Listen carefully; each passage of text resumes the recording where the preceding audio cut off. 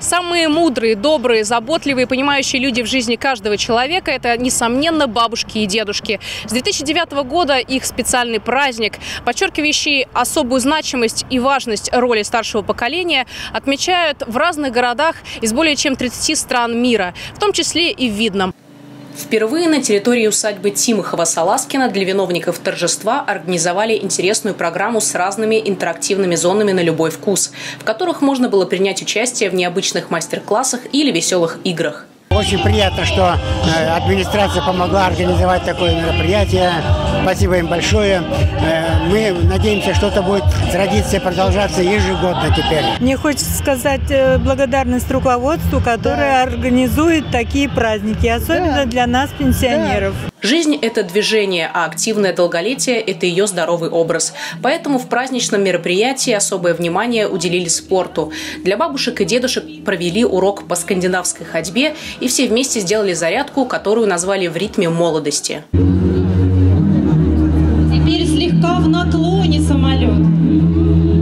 На территории усадьбы расположился мобильный медпункт, в котором можно было проверить состояние здоровья, сдать анализы, померить давление, сделать флюорографию. На базе данного комплекса также а, возможно проведение а, специализированной медицинской помощи а, в составе врача-невролога, хирурга, эндокринолога, кардиолога. Многие, как и Лариса Муссорина, воспользовались возможностью пройти небольшое обследование своего организма. Очень удобно. Вот э, если у кого-то вдруг давление поднимется или же голова заболела, подойти, проверить самочувствие, потому что все-таки возраст. А у меня вот сахарный диабет, поэтому и таблетки с собой, все на всякий случай, чтобы тут же оказали медицинскую помощь. А также для старшего поколения приготовили полезный кислородный коктейль, работала полевая кухня, предлагали горячий чай и кофе. Я очень рада, что собрали бабушек, дедушек, что даже можно поплясать и можно вот очень вкусное кофе попить. И несмотря на то, что погода немножко пасмурная, но настроение у меня хорошее. Праздник прекрасный. И здесь погулять прекрасно. Здесь такое место красивое. Так все сделано красиво.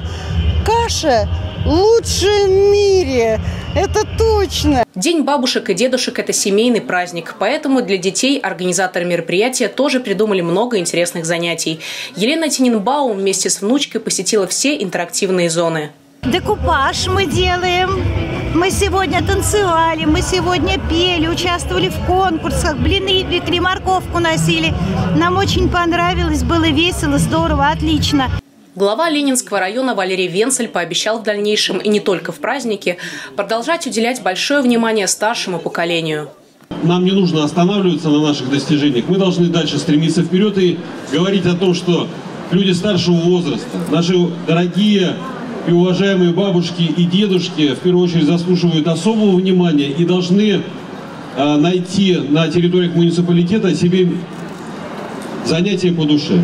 В этот день в честь виновников торжества прозвучало много теплых слов и поздравлений. А изюминкой мероприятия стал концерт. Артисты исполнили всеми известные хиты, а также песни молодости главных героев праздника.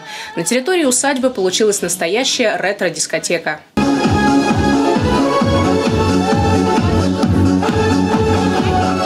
Это молодые, энергичные люди.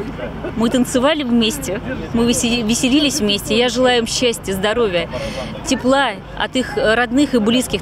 Этот праздник объединил бабушек и дедушек всего Ленинского района. На территории усадьбы можно было встретить жителей совхоза имени Ленина, Молокова, Развилки, Калиновки. Так, например, из поселка Володарского приехала целая делегация Совета ветеранов, которая устроила свой музыкальный мини-концерт. Сослись, не сосвататься.